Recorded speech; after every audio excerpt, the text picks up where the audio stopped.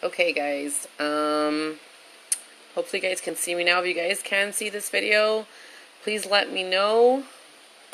I wanted to answer some questions that I was getting on homeschooling. I'm sorry, a little. I'm a little sick. If I sound a little muffled, it's because I'm sick. Been sick since um, last weekend. So, okay. So I have another page. If you guys don't know that, you guys can go to Fun Kid Stuff. Just go ahead and type in fun.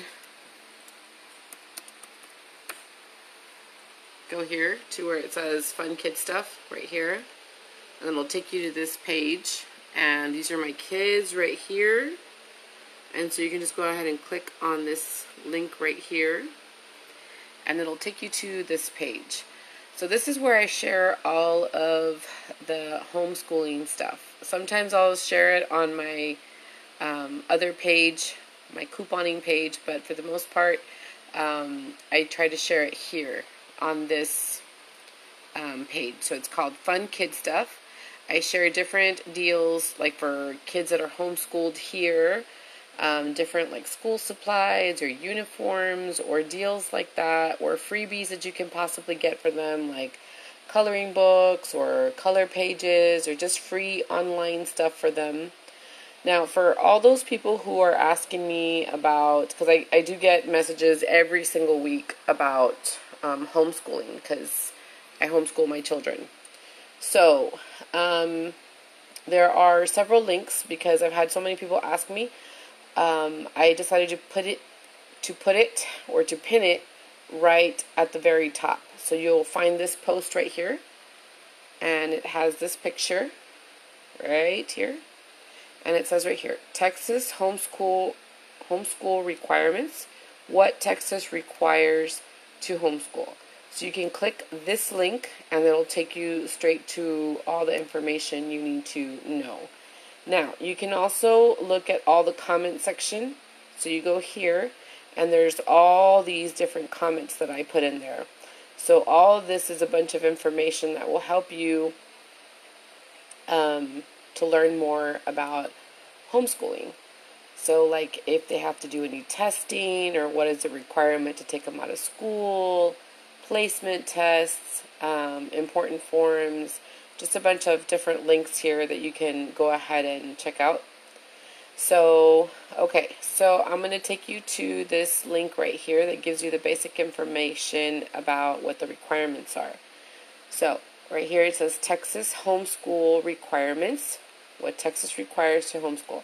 You can click on this link and it'll take you straight to this one right here where it says Texas Homeschool Coalition Association. Now, this one, um, if you do want to be a part of this, you do have to. Um, hold on. Please subscribe to Google. Okay. Um, you do have to pay a membership fee to be a part of this right here, but in case you ever had like a CPS case that I don't know, you had an issue with family member and they decided to call CPS on you or whatever. Um, usually CPS will get involved, but they don't do anything against you unless the children are harmed or they can see that they're not learning anything. But if you have proof that you've been teaching at home, there shouldn't be a problem. Um, but there are cases like that, and if you do need a lawyer, that is what you want to be a member of this for. So, Texas Homeschool um, Coalition Association. So, they have lawyers here that will help you in case you need to go to court and stuff like that. But if you are pretty okay in. like if you are for sure you're not going to have issues like that then you don't need to be a member of this but it does share a lot of great information on this website so you can learn from here. So right here, we're going to go ahead and read this real quick. Texas state law requirements regarding homeschooling. To homeschool legally in Texas, you must follow three state law requirements, which is the instruction must be bona fide, which means like it's not it's not a sham, which means it's legit. It's going to be something that um, they're actually learning from. So it says right here the curriculum must be in visual form. So, like books or workbooks or video monitors. So, things you can show them, like from YouTube or Netflix, like different videos you can check out from the library. Um, as long as the kids are learning, you can um, show proof, like you can make them do journals and they can write about what they saw in the video. That would help also, just journaling. Um, workbooks. Um, you can purchase several workbooks from like Dollar Tree or from Five Below.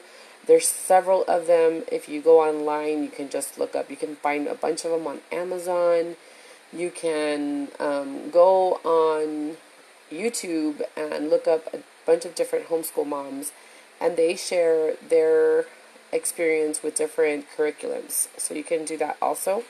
You can also take them to the library, and at the library they have ABC Mouse on the computers.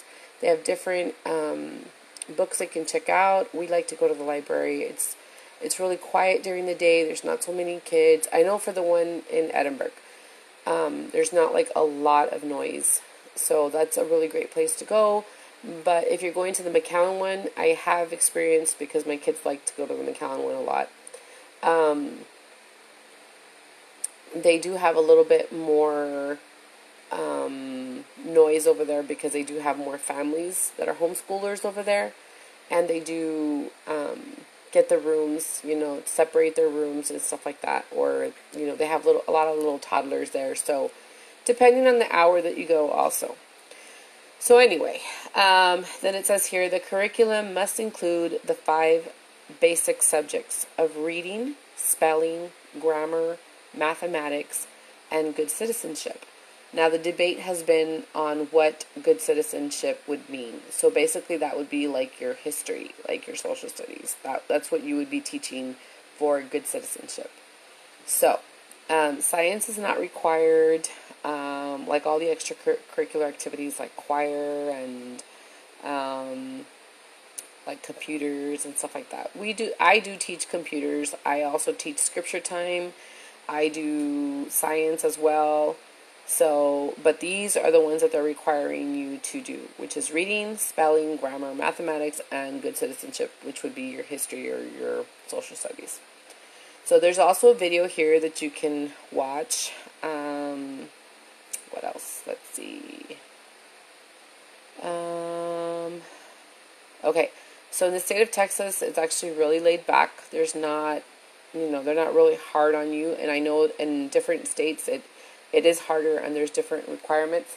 But for the state of texas you know it's it's pretty laid back and they're pretty um, they're not as hard on you. So as long as you're teaching what you what you need to um, i can show you you guys can go to my youtube or i can show you if you guys um, have any questions of some of the things that i teach i can definitely go in and go ahead and show you right now um, some of the journals that my kids do, and I can give you an idea what what are some of the things that um, you can teach the kids.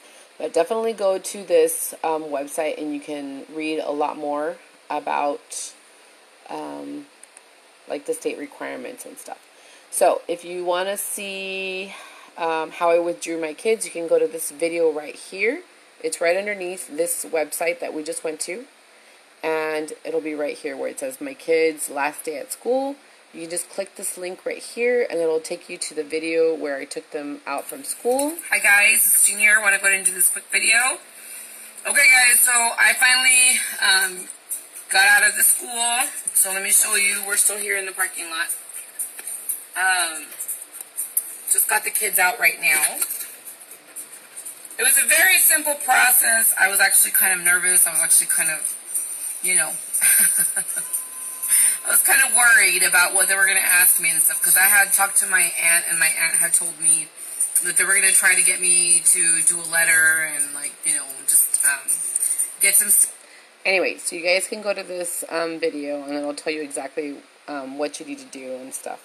It's no big deal. It's nothing. I was all nervous and stuff, but you can just go there to that link and you can see that video and let's see right here. It says there are thousands of curriculum providers and homeschool parents are free to choose curriculum that best meets the needs of their student while satisfying the requirements of the law.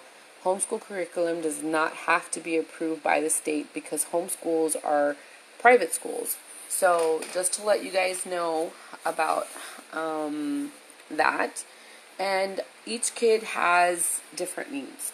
So, some people have kids with disabilities and things like that, so you need to accommodate, um, you know, different different curriculums for different um, disabilities, and so I can't tell you exactly what curriculum to get, but I can just tell you what I do with my kids. But you know, to each their own. You guys decide. Um, I already showed you guys the requirements.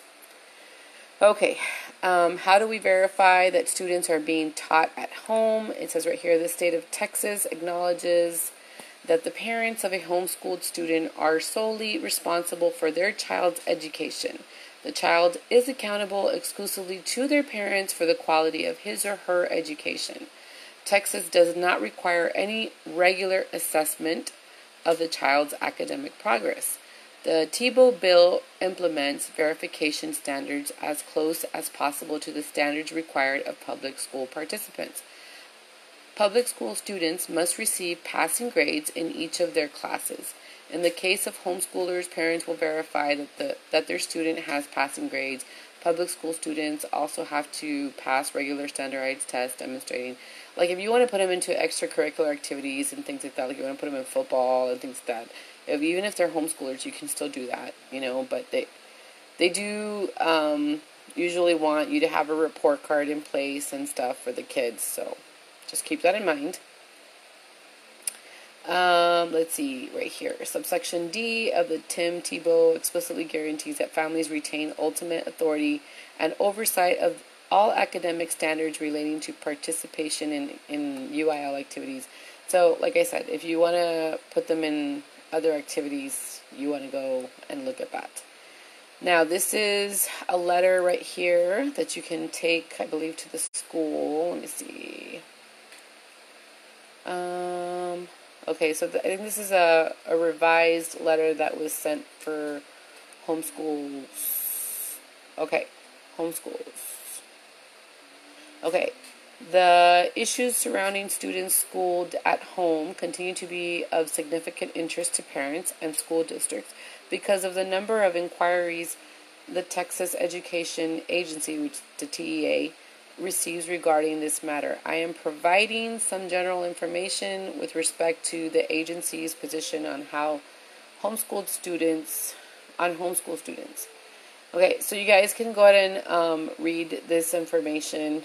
Um, I had to read all this information. I just put links there for you guys so you guys can um, take the time to go over it. Video of why I decided to homeschool my kids Okay, so there's a video here of why I decided to homeschool my kids, right here. Morning, guys. To go so everybody has video. their reasons for wanting to homeschool. Mine was because my son was being bullied at school, and my daughter um, was not reading, and she was a first grader, and she was just not reading. They were not taking the time to um, really help her to get to that reading level first grading uh, first grade reading level.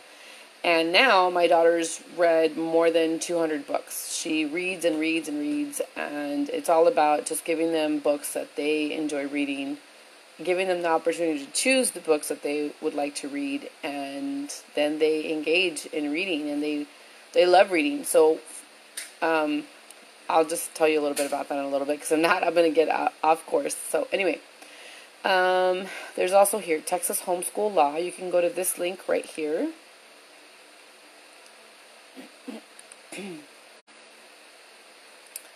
Uh, okay, homeschooling Texas under state law. Are you considering homeschooling your child? You can do it. Um, as you get started, it's important to make sure you comply with the education laws where you live. This page helps you understand how to homeschool legally in Texas step by step. Texas compulsory compulsory um, school attendance age. From age 6 to 19, children must attend school, either public or private, includes homeschooling. Remember that homeschooling is considered a private school, so just, you know, um, understand that. until they graduate or get a GED.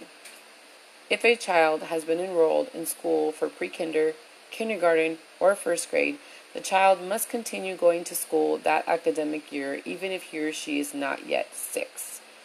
So, um, with my daughter, I took her out. There was no big deal. She was in first grade, and I took her out. No problems, no questions asked. They just, you know, they don't give you the books. I will tell you that. The school keeps their books. But that's fine. You can purchase your own. Uh, let's see what else. Mm, withdrawing your child from his or her current school. If you want to start homeschooling during the school year and your child is currently enrolled in a public or private school, um, recommends that you formally withdraw your child from that school if you are going to start homeschooling after that school year is over and your child is considering enrolled for the following year. You guys can take the time to read all this. I mean, I'm not going to read every single thing for you, but you do want to keep some record. You want to do some record keeping, you know, to show what days your kids go to school. I can show you a video of how I do it. Everybody does it differently, but there is that link if you want if you want to go ahead and check that out. You can see here uh, Perry delivers message to Texas Homeschool Coalition. You can see this video right here. This one is on YouTube. Howdy, this is Governor Rick Perry. I just got through addressing a group of homeschoolers here on the south steps of the Texas Capitol. Uh, Tim Lambert's doing a great job of uh, leading that uh, coalition, and no group of people I think more of than moms and dads who sacrifice to teach their children at home. Uh, I hope each of you will continue to be very involved in the process here to protect uh, homeschoolers' rights and to keep Texas the number one homeschooling state in the nation. God bless you. So that's pretty awesome right there. We're proud of our um, freedoms, proud of our right to life, liberty, and the pursuit of happiness. We're proud to say we're Americans, because at least we know we're free. But how free are we to teach our own children? Let's get the facts. In the state of New York, only parents deemed competent are allowed to teach their own children.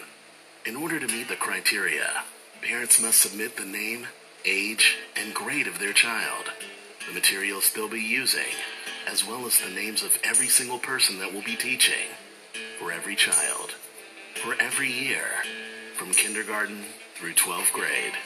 But being qualified isn't enough.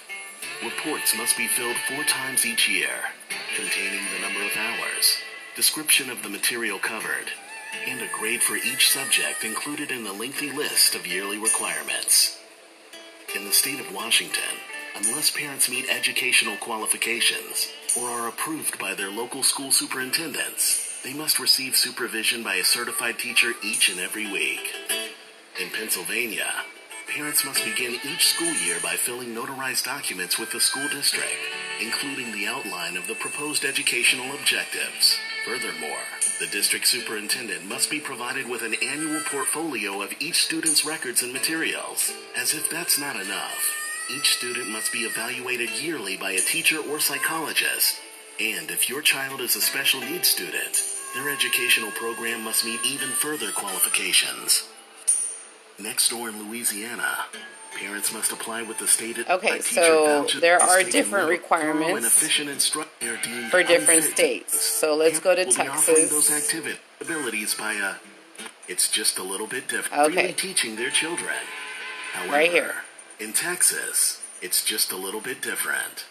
Simply being a parent in Texas is ample qualification to teach your own child without the supervision of a state certified teacher. There is no need to register with your school district. No need to inform them of any extracurricular activities. No need for testing. And no need to have your child evaluated annually by a psychologist. In fact, the only requirement for Texas homeschoolers is that they pursue math, reading, spelling, grammar, and good citizenship in a bona fide manner. Ultimately, you raise your children, not the village. We're proud to say that we homeschool in Texas, where people are free. Okay, so I thought that one was important for you guys to watch, just to clarify it. um, we're pretty lucky here in Texas that we're able to um, teach our children, and we don't have so many requirements like in other different states. Okay, so there's a bunch of other links here, guys. New homeschooling laws, how free, what makes homeschooling in Texas easier. Seven easy steps to begin Texas homeschool, um, defend family rights. Um, school district recommends homeschooling to family, placement and academic assessment testing right here. So the only time that you're going to have to do an assessment is when you put the kids back in school, if you want to put the kids back in school. So, like, let's say I wanted to take my kids to get back in school, enroll them back in school the, uh, tomorrow.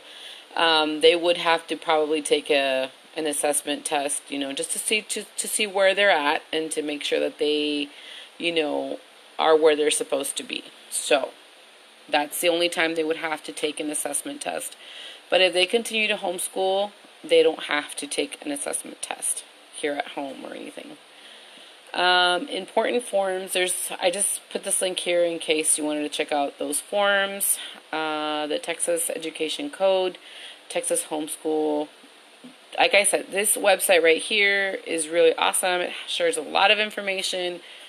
If you do want to be a part of it, there is a fee for it, but if not, you can just you know, get a lot of information from there, and that's it. Record keeping. I do do some record keeping as far as attendance, as far as um, what else? Let's see, like uh, their reading logs of how many books that they've read. They do all their journaling, so I have all those composition books. I don't throw any of them away. I'm holding on to all their workbooks that I purchased and that they've already um, finished. So, yeah, I do have some record keeping in case I needed to ever come to my home and check. I do have that. Um, curriculum, Texas Homeschool. Okay, so there's different curriculums here. I can show you what they have here. Let's see, examples. Types of curriculum, choosing a curriculum, and curriculum reviews. There's traditional curriculum, there's unit study, there's classical, there's techno, uh, technological, there's Charlotte Mason. This one's really awesome. So many people on YouTube um, go for Charlotte Mason. Uh, DVDs, uh, secular, electives, special needs, and you can go ahead and go through all this depending on what your needs are let's see. You can go to different websites, like I said, or you can just purchase them online, depending on what it is you're looking for. But YouTube really does help you. There's so many homeschool moms that are willing to share the curriculums they purchased and their thoughts on them. So, yeah, there is help out there, guys. I'm not an expert on homeschooling. I'm just doing the best I can. There are two online um, and for all my other homeschool moms that are on here watching, if you guys can help me with trying to mention some of them, you guys can just type it down below to help others. Um, there is Monarch, that is an online school. I know my aunt uses that for her son, which is Monarch. M O N A R C H, Monarch. And then there's another one that's called K 12, and that one um, my friend actually told me about that one. So that one is, I believe, enrolled with the actual public school, but you can do it from home.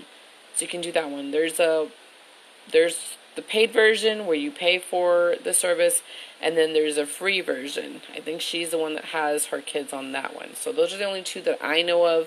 I'm sure there are countless others, but I just, you know, I don't know all, all of them. And then my aunt, which is the one that kind of um, helped me out in deciding whether to do it or not, she just told me just take